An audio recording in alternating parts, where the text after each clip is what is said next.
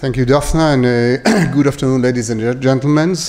Um, I would like first to express my appreciation for the, to the Interdisciplinary Center for initiating the, and holding this uh, conference, which attempts to bring into view the subterranean uh, challenges and their warfare implications for comprehensive and substantive uh, discussions. The subterranean challenges challenge is not new realm in the battlefield. We see it recorded even in Judean history as a method that uh, in the battle uh, against the Romans. And having been a factor in both Lebanon and Gaza for the last two decades, it's not a new challenge for the IDF either. I would, however, argue that unlike the cyber realm, where the organizational inception phase, it was addressed as necessitating as, as a comprehensive approach, subterranean challenges was not addressed as a realm of, uh, of its own. Moreover, lately we hear on the, the hypersonic threat. It's a real trend in the world. Uh, yet, these two realms, the cyber and the subterranean, are the only, one, the only realms that are highly connected to the civilian sphere, raising some fundamental questions and challenges. Although we, the IDF, recognized this challenge uh, and in 2008 a roadmap uh, to address it was ordered, we failed to follow the roadmap successfully, as, as has been expected, uh, prior to Operation Protective Edge. During this operation, for the first time, the IDF experienced the subterranean uh, warfare in a way that had never happened before. We had to face this uh, out of uh, uh, these three out of four subterranean challenges. The, the attack tunnels that are penetrating into Israel, the defense tunnels that are using it simply to defend the Gaza Strip, and also the third one, the concealment compound comp compound tunnels which are utilized uh, for a variety of purposes such as uh, command and control rooms, uh, rocket launchers, and, and more. Furthermore, it was the first time where the subterranean challenge became an objective that was ordered to be countered during operational combat. Operation Protective Edge took place a month before I ended my job as uh, the commander of uh, the division responsible for the Gaza Strip before I assumed the command, I assumed command, I took some of uh, some time for a learning process that resulted in two questions concerning uh, the time between wars. The first question was, how come since 2005, the previous time an attack tunnel uh, was used for the kidnapping, kidnapping of uh, Gilad Shalit, an IDF soldier, we, the IDF, never found an attack tunnel. These questions came after I learned uh, the intelligence that argued that, for, that we have about 26 tunnels, some being over three years old and operational uh, in re readiness, with operational readiness. My second question was how can my division eliminate the enemy intention to carry out another kidnapped and I reached this question after learning the strategic consequences that the kidnapping of Gilad Shalit, which made us to release dozens or hundreds of uh, prisoners, and it was a huge debate uh, afterwards as well. So it started uh, early into, in November 2012. On my third day as a division commander, a large ex explosive charge that had been uh, hidden in a tech tunnel was activated exactly on a vehicle that had parked right uh, on top of uh, it some minutes before. Actually, nine minutes before. We were lucky not to have any casualties. Two days after, the Hamas launched an anti-tech missiles in one of our uh, vehicles, leading the Israeli leadership to execute an operation against the Hamas named Operation Pillar of Defense. After the operation ended, I initiated a process to investigate how come Hamas was able to hit our vehicle that precisely. We investigate the whole operational process, meaning from the planning the mission all the way to executing it. We also asked how the headquarters and the forces behaved once the event took place. That resulted in some interesting conclusions. The reason that made us to come to this area was very similar to other operational events that took place only weeks before, three of them. Although the intelligence indicated that for three years an attack tunnel was located in that area, this was not mentioned during the briefing before the, before the forces went to, their, to do their missions, and so it did not influence their operational behavior the force were doing a great, a, a great, were doing great in addressing the above and the above the ground challenges, which I must say were very complicated in and of themselves. Third, we searched the area and we found signs of not only the explosive charge, which was a huge hole, about five meters diameter, but some remains and clues that led us to understand that this was the attack tunnel we had been looking for over three years. It was not uh, that no one was searching for it. We spoke to officers that dealt with that uh, specific tunnel before, and next to it we found uh, remains of several technologies, assets that proved some uh, that that some uh, had tried uh, things before yet we are not able to find the old tunnel. A few weeks after, in January 2013, three weeks after uh, we ended the investigation, we were lucky to find another attack tunnel that one of its exits collapsed in Israel. This time we implemented some lesson learned in a way to uh, we approached it. First, we trained our forces to deal with both man, uh, dimensions both relay in the same time means your force maneuver takes into account the two dimension in the same time. Second, we used new tactics. New tactic uh, that takes a, uh, new tactics so the enemy won't be able to take advantage of our forces and to hit us because they try to do it with snipers, missiles, and so forth. One of the obstacles that we faced was that we were unable to use fire, uh, firepower since ceasefire took place.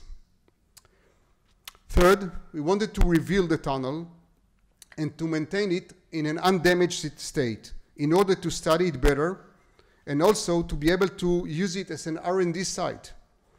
So therefore, we decided of new combat uh, engineering techniques and capabilities. We used uh, new uh, combat, uh, uh, combat engineering techniques and capabilities. It took several weeks to reveal it completely, meaning the tunnel and its different splits off and other uh, very sophisticated explosive charges, very sophisticated ones that were very new for us, and other things that we revealed, but it was highly worth for several reasons. First, we're able to compare the tunnels to the intelligence reports that, which we, we wrote over three, for over three years. While it, made, it matched by over 90%, yet no one was able to find it for several years. Second, we're able to view the gaps between the tunnel and the, difference, uh, the different technology results that has been uh, indicated uh, years before. Third, we invited through the uh, Minister of Defense uh, R&D department, uh, Itai was the representative, uh, he briefed you before, any company that wanted to try its current technology. Many comp companies came, including companies from outside of Israel, such as our American partners, who sent some capabilities. Not surprisingly, no one was able to detect the tunnel. A couple years after, it's 2013, January 2013, five years after the roadmap that was ordered for us. Uh, based on the conclusion, after our experience with those two tunnels, we decided to act on two patterns. First, we started to do some drillings in areas where we assumed the tunnels might be located uh, or that the activity will help us to learn some things on our enemy, the way he view us. Second, and it, this was the, the main effort, we addressed the intelligence echelon. We took three decisions in that aspect. First, we established a special intelligence analysis team, and here comes the second part. This team had to uh, take the same intelligence database that we had uh, before and to view it from, from different uh, perspective. And the third was to have an interdisciplinary forum based on the IDI, in Israel intelligence uh, uh people, personnel, from all disciplines, mean technological analysis, cyber scientists, and more, and others, sorry. I was asked many times, didn't you ask for any more uh, intelligence resources? Uh, honestly speaking, we asked for nothing more as we realized that we were already had almost everything. Therefore, we needed to ask different questions and to be, to be able to overcome uh, some mistakes. Uh, it did take some answers, however, it was worth it. We were able to find the first tunnel, and a few weeks after the second one, uh, by ourselves, based on the same intelligence and unfortunately the same capabilities. Uh, the team analysis leader said very nicely that the first time the drillers were able to, to beat the diggers, and it was the first time to be one step ahead. The importance of the intelligence analysis resulted in a differentiating, differentiating that half of what we assume to be attack tunnels into Israel are not actual attack tunnels. On the other hand, we are able to understand better the Hamas doctrine, and therefore we, the analyzed team pinpoint 16 more tunnels, mean 32 tunnels, uh, attack tunnels in different operational status that coming into Israel. We also found that many tunnels, especially those that are, were operational already, one or, or two of their entrances in Gaza were located in public sites such as mosques, kindergarten, and so forth. Based on the, uh, the assuming, uh, based on the assumed Hamas doctrine, we changed the TTPs that we used to handle uh, in the field.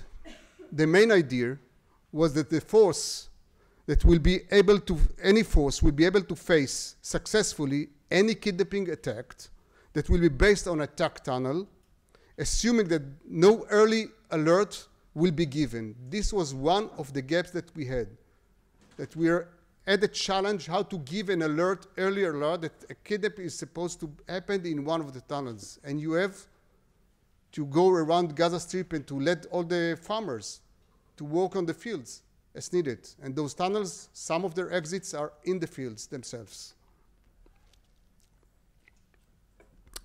Up to this point, we are dealing mostly with the detecting the tunnels, but at this point, in order to change the Hamas calculus and to face it with some uh, challenges, we decided to destroy one of the tunnels in a way that the Hamas wouldn't be able to use it anymore.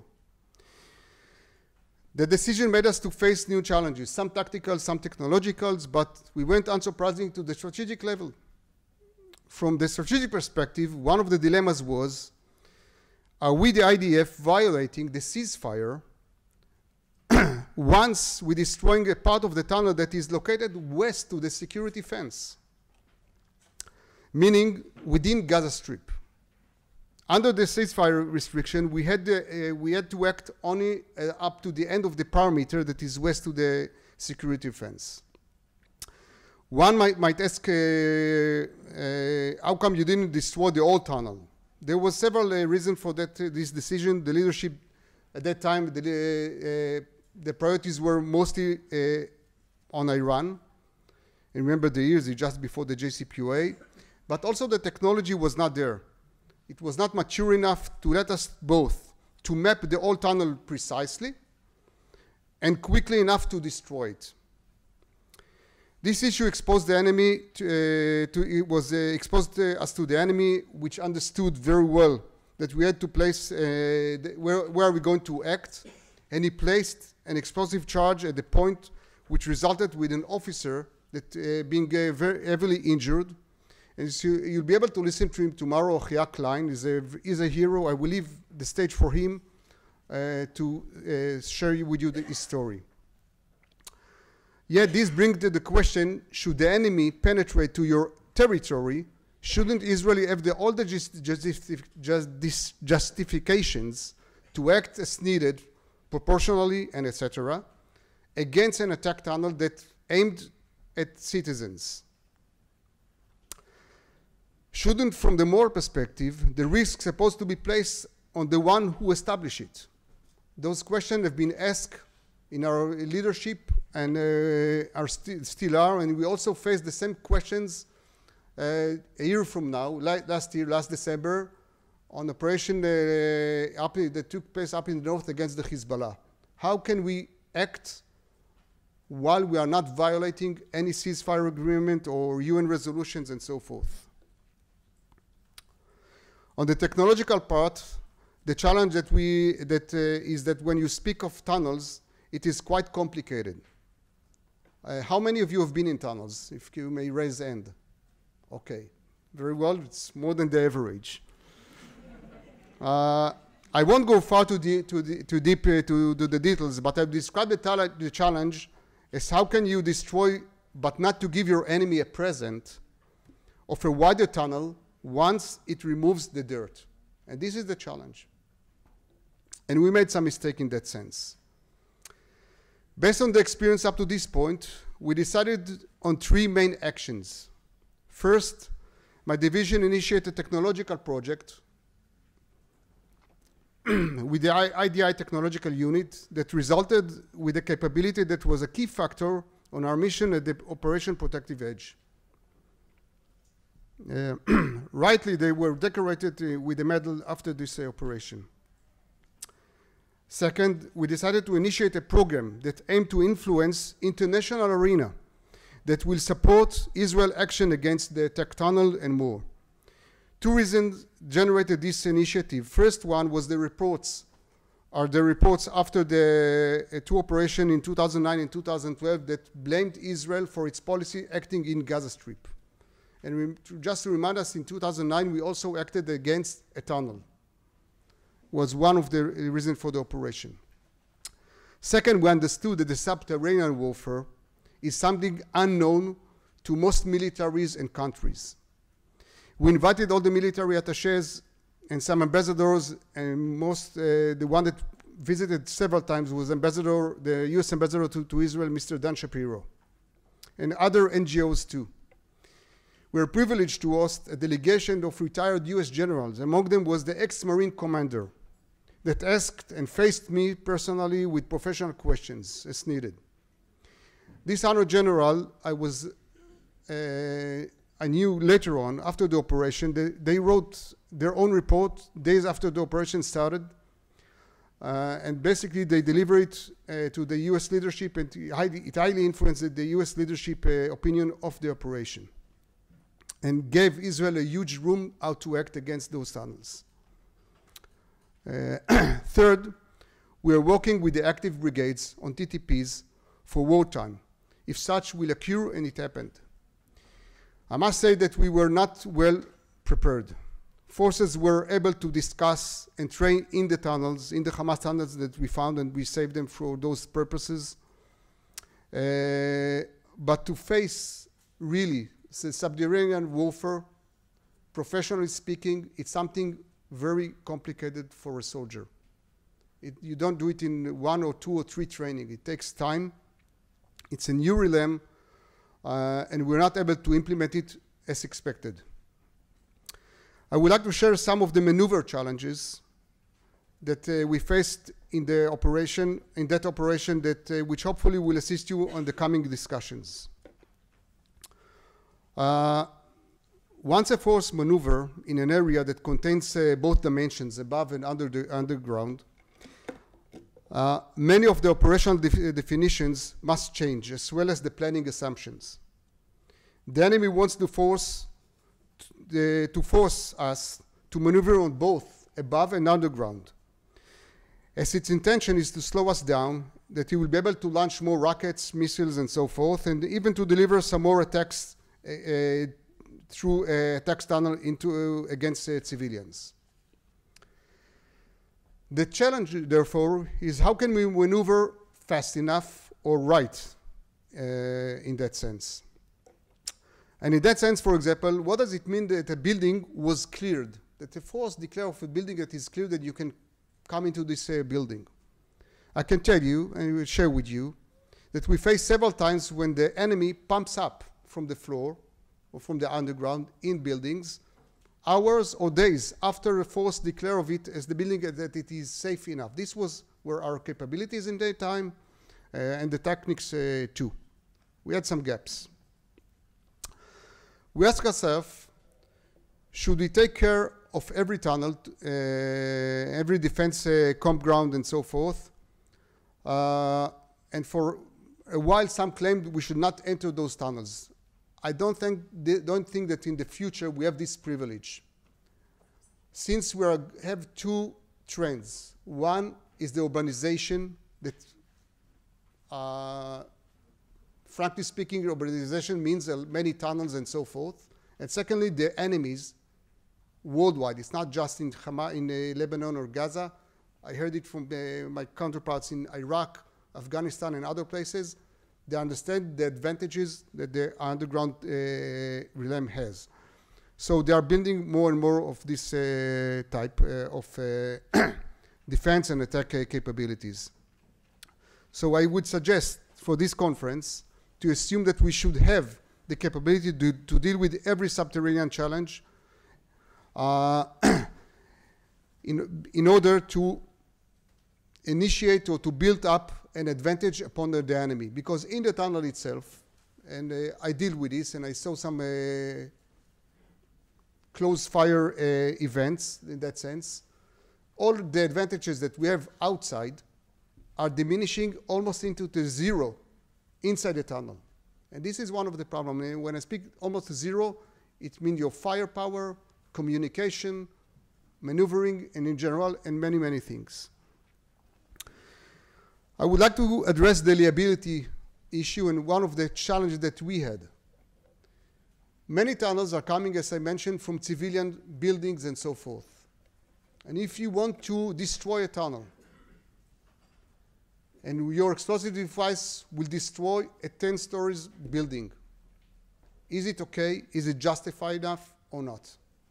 Who, who uh, is carrying the liability in that sense? And it's after having uh, dealing with the proportionality actions and so forth, still, still, one of the problems that we don't have the intelligence that where every tunnel is at. And we need to have, so if I would have to sum it up, what are the gaps are, we have to be able to detect very fast the tunnels, to maneuver, to maneuver uh, right in the right way with no more, not too many casualties and so forth, and to destroy it or to neutralize it as needed. To have different capabilities means that there is no, in my opinion, no one silver bullet for tunnels. It's a all strategy, all capability that we must have in order to uh, face it uh, uh, the right way. I would like to say that since July 2014, uh, we had some advances, uh, advanced uh, TTPs. I must say that our R&D guys did a great job, both for maneuvering and for detecting tunnels that are being digged into Israel. Uh, we have a great cooperation with our friends from the US, a really good one for the past uh, few years. Uh, and I hope that we'll be able to uh, face next time uh, those uh, this challenge because we'll face it here in Lebanon and Gaza. We'll face it uh, for sure. Uh, and I leave some minutes uh, for Q and A, please.